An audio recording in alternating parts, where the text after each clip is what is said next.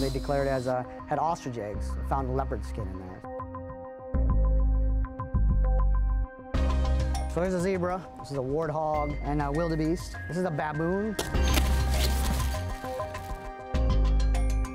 So if they're telling us it's a abalone shell and it turns out to be sea turtle shell, then you got a problem.